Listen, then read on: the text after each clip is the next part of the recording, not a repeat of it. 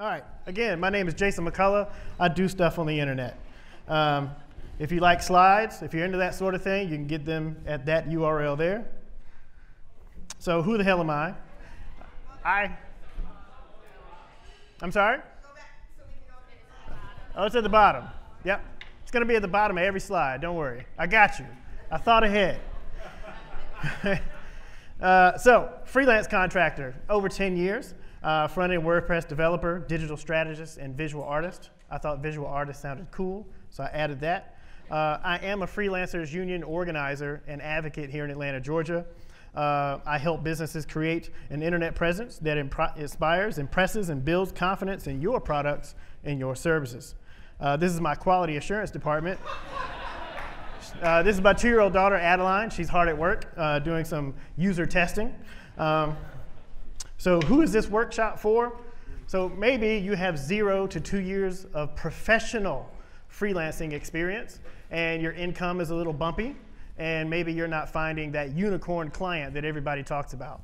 Or you have more than two years of professional freelancing experience, your income is still bumpy, and you're probably not closing, uh, your close to, uh, your prospect to close ratio is not where you want it to be. So uh, true, successful freelancers, uh, they convert leads into clients by getting to know their prospects' biggest issues and proving themselves to be expert problem solvers. But there's a really big secret uh, to really getting the clients that you want. Everybody knows what that secret is? It's called follow up. So 90%, 90%, remember this number, right? 90% of sales are lost because no second contact is made. So today, in this room, hopefully we're going to learn how to develop a client relationship management system, or some people like to say customer relationship management system, a CRM, uh, that doesn't let you miss an opportunity to, connect. Uh, it's going to ensure that interested leads are the real deal. We're going to get rid of those tire kickers, right? Get them right out of there. Tailor your marketing efforts to proven lead sources, win new business, and customer loyalty. So when you walk out of here, you will be the 10% instead of the 90%.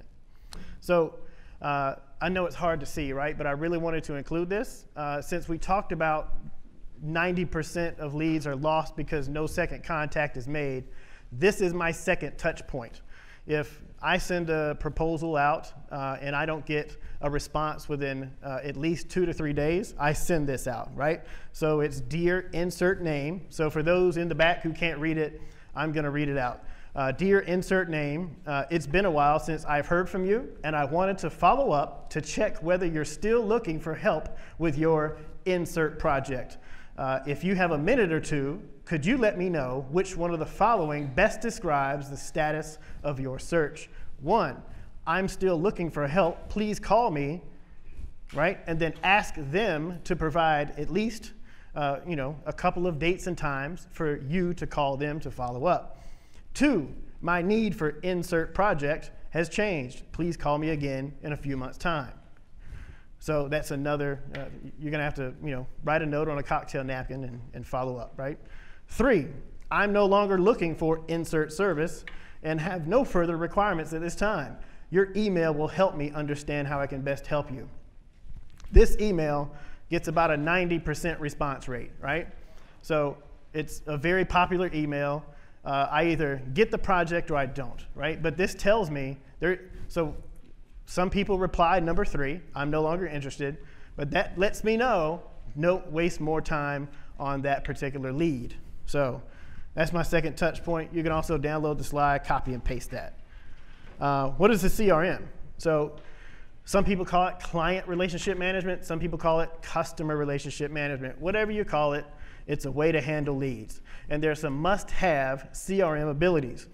So the uh, ability to add custom fields, right? Preferably text, drop down, check boxes, and stuff like that, right? Run reports and filter by more than one field at a time export to a clean CSV file because eventually you will grow out of your current solution and you will need to move into another solution.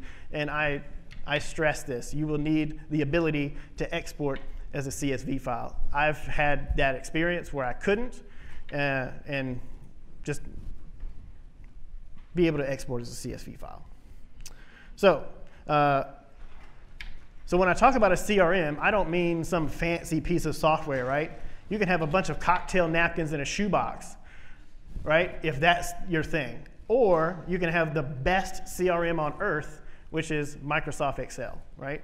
So it's the cheapest and the best uh, CRM on earth, and it's uh, you, most of you already have it. Or Google Spreadsheets, right? So Google Spreadsheets is the same thing. So here's the essentials of CRM, right? Or the essentials of your process. Uh, you want to have a first name and a last name, right? Uh, contact info, email and the phone, critical. No matter what else you get, get an email and a phone number, right? Uh, the lead source, you need to know how they found out about you. Was it through a Google search? Was it through their friend at the gas station? Was it through a business card that you left on a pin board uh, somewhere, right? So you need to know how they found you so that you can replicate your success in the future. Uh, what is the service that they requested? Whether you can provide it or not, you need to know what that is. Uh, and of course, you didn't talk about cost, but what is the estimated value of the project that they're requesting? You need to know that. So your incoming leads, right? So now we're going to talk about a process, a checklist, and a system and a process uh, that I've used over the years uh, that's helped me close uh, some successful clients.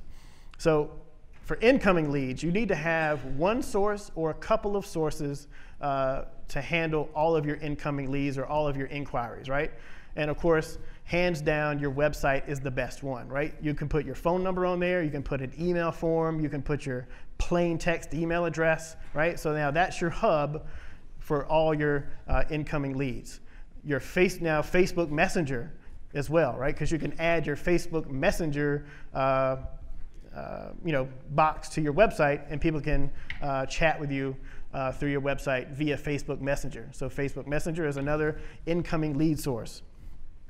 So you need to have some questions uh, to qualify that incoming lead to, to know whether or not they're a good fit for you or a good fit for one of your colleagues or just not a good fit for anyone and get them tire kickers right out of there, right? So because not all leads are right for you and not all leads are built the same. So you, and whatever your service is or whatever it is that you offer uh, to make a living, you are going to have to define those three questions, right? Uh, but three questions make it easy, right? It's not a long litany of questions, the 20 question thing. Three questions is, is, a, is a sweet spot for me. So once you've assessed each lead, right, based on their inquiry form, so you need to decide if this lead is a good fit for you. If it's not a right fit for you, uh, can one of your colleagues handle this job?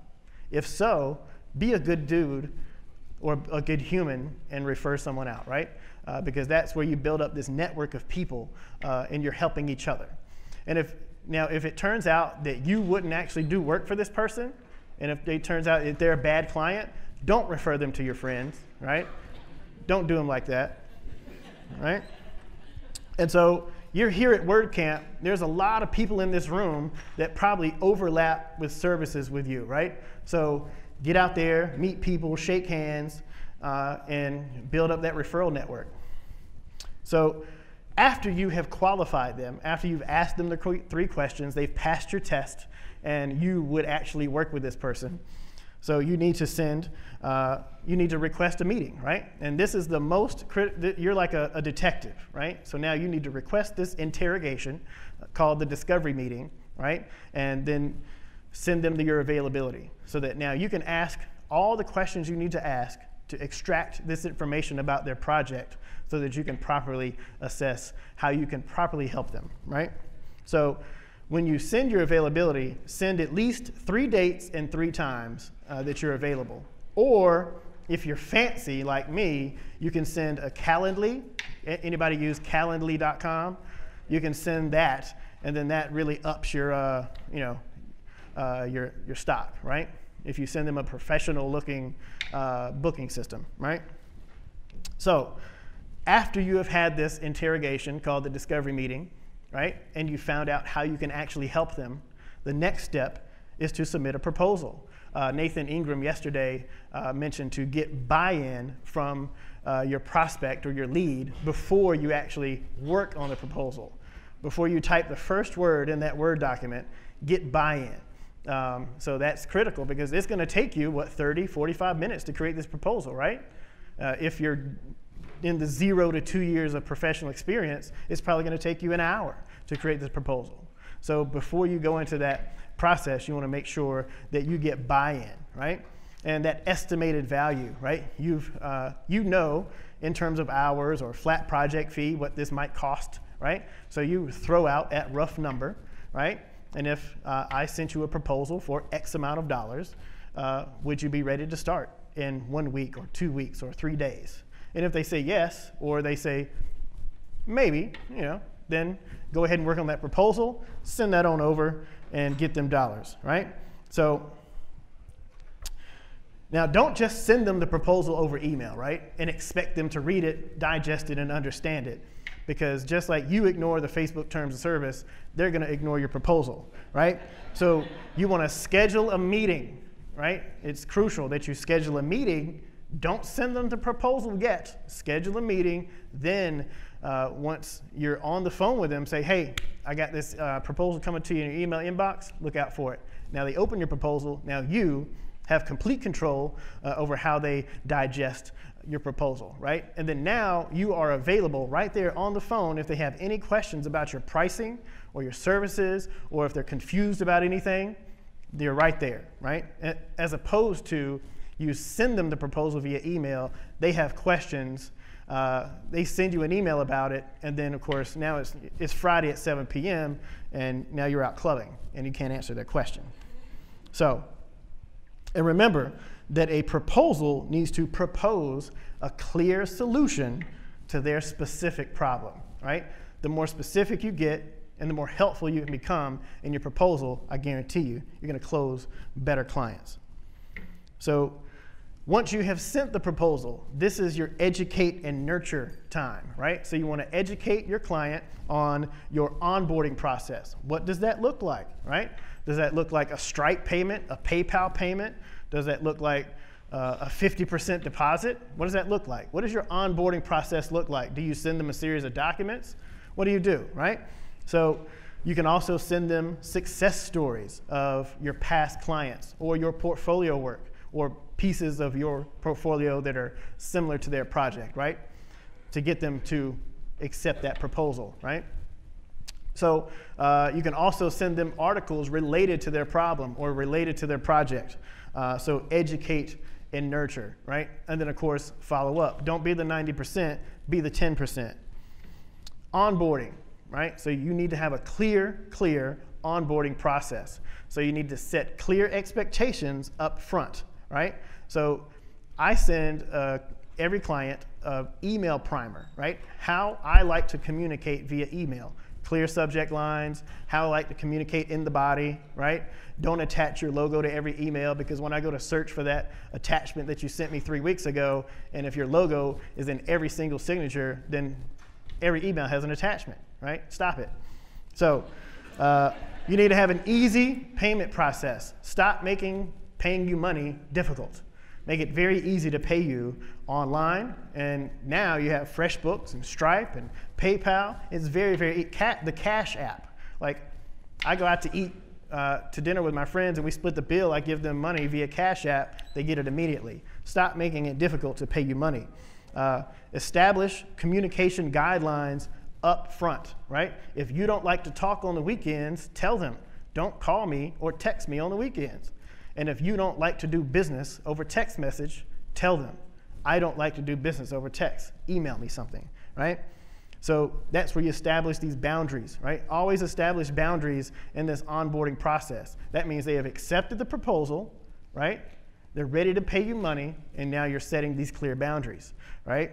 And of course, I always stress to people to request that 50% deposit up front. It protects you from non payment. That 50% is going to get you that bulk or that uh, block of hours to get you through to maybe the next milestone.